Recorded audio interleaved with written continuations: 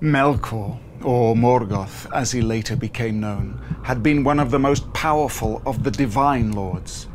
After his fall from grace, he became the Dark Lord, master of the evil wizard Sauron, and the great enemy of the Middle-earth.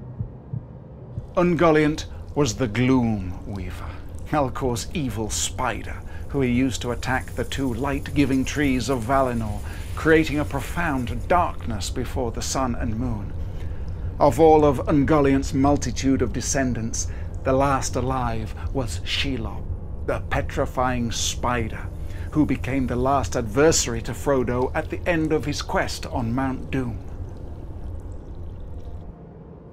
Glaurung was an extremely devious dragon.